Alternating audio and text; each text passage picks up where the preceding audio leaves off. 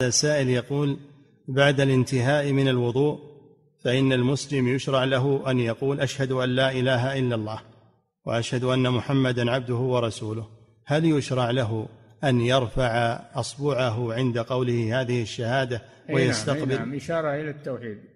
رفع أصبعه إلى السماء وقال أشهد أن لا إله إشارة إلى التوحيد. نعم.